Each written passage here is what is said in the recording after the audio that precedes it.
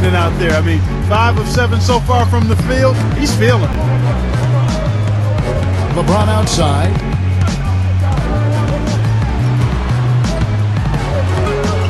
Pass to Chalmers. It's stolen by Ariza.